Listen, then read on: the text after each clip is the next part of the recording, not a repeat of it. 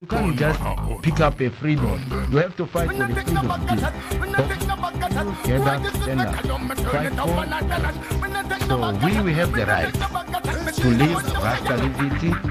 We have to come together. We have to produce our work and then communicate. Because without work, there's no communication. Mm. We can't just look at each other and talk about yeah, Haile Selassie, Rastafari. There's a lot of work to do in Rastafari.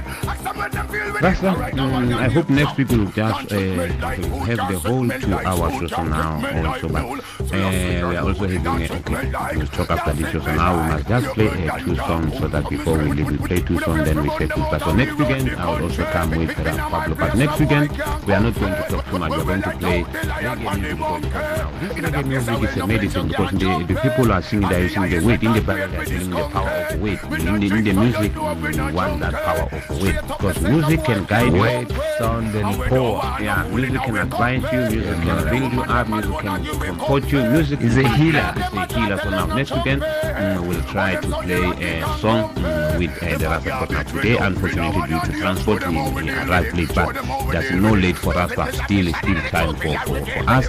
So now we play a couple of songs, we leave the studio. So now next weekend, we hope we'll be coming uh, uh, very uh, in, a, in a serious way. Rasta? Yes, I. Masses and crew. I'm so uh, uh, apology, you know, to be late. There's more music to be played. Play. I and I, we're gonna play. When we come, we're gonna play roots.